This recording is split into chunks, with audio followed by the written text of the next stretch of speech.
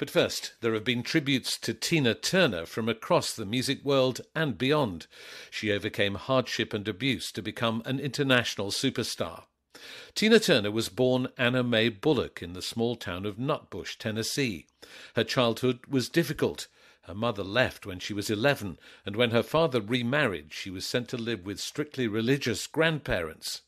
Anna Mae began singing in church, and as she recalled, on family outings too. At our picnics in the South, when we had barrels of lemonade and fried chicken, barbecue ribs, and the whole bit, and there was a Mr. Bootsy Whitelaw.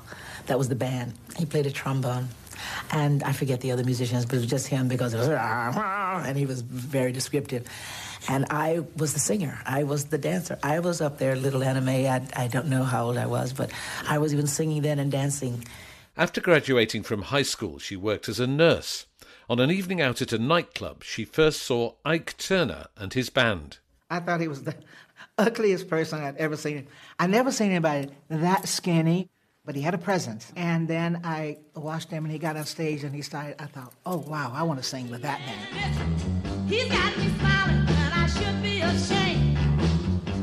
Anna Mae was determined to sing with Ike's band. She was 17 when she first got on stage and grabbed the mic. Well, who was there right there? Yank, give me that microphone. And I started to sing, and Ike was like, I mean, he was literally shocked for that sound to come out of this little girl that's been following him around, asking him if I could sing with him. And it was one of those really heavy blues. It's one of those, how do you call those swampy ones? Da da. And this this young kid that had it in there, and I, yeah, 17 years old. And I got up there. I was perfectly at home. When I was a little girl, I had a Ike suggested she change her name to Tina Turner, and the couple were married in 1962. They toured with the Ike and Tina Turner Revue and were invited to support the Rolling Stones. But by the mid 1970s, Ike was addicted to alcohol and cocaine and became increasingly overbearing and violent towards Tina. He knew already that I no longer cared about him and was paranoid about me leaving. He had already sensed that I was thinking of leaving. So that was the beginning of the end, yeah. the beginning of the violence and how evil he was. It was every day, every moment. Every now and then, it was some fun. Sometimes it was, but I don't remember what it was. But I remember there were days that was lighter and nicer. But mostly, he was just a really, always angry with me. Oh, he treated me like I was a prisoner and he was the guard. After years of mental and physical abuse, Tina finally fled the relationship in 1976 with just a handful of loose change in her purse. The mind changed, strength, believing in myself, determination, determined to get away from that because that was no life. Either die or move on to whatever is next and to believe that there is something better. Lee John from the band Imagination was a Tina Turner fan long before he was sitting alongside her on chat shows during the 1980s. He recalls seeing her live as she struggled to establish a solo career. We uh, came to see her at the Apollo Theatre in Shaftesbury Avenue.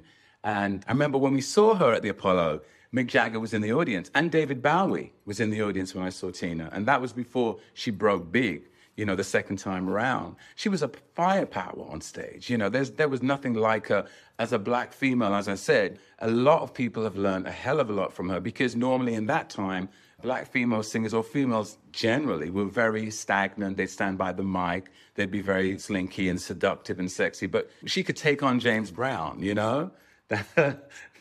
that was a relative thing about her, or Wilson Pickett. She had that energy, and you know, came from the church, from the gospel roots, you know, in the South.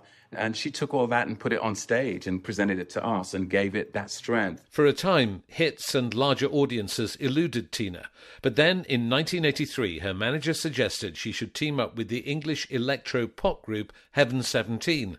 The recording process surprised her. They were sitting in the room and it looked like an x ray machine that they slotted this thing into. That was the electric sound. It was all done with machines. It was like surgery was going on in a little opposite room, and I'm standing here singing. I tell you, I did the most fantastic vocal as well because when I heard what they were doing, when we listened back, I felt, oh, this is huge, this arrangement. It's, it's like an orchestra in a strange kind of way. It was, it was wonderful, the experience of singing.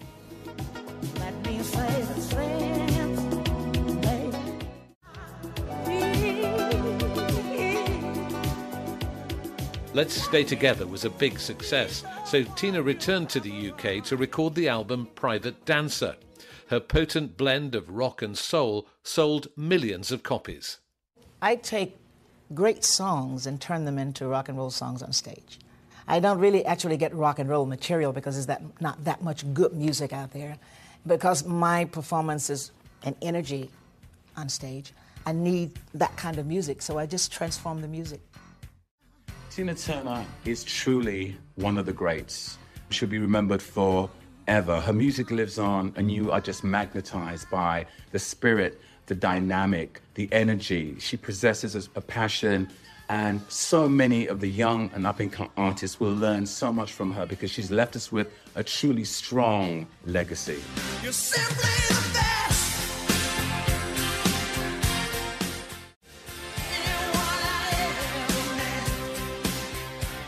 You know what I'm proud of? That at this age, my music doesn't sound old style. There's a, mu- a musical that's a hit. So aside of being really tired of talking about myself, I'm really proud of what my future as a star became. I feel proud that I hold that in my hand. The music of Tina Turner, who's died aged 83.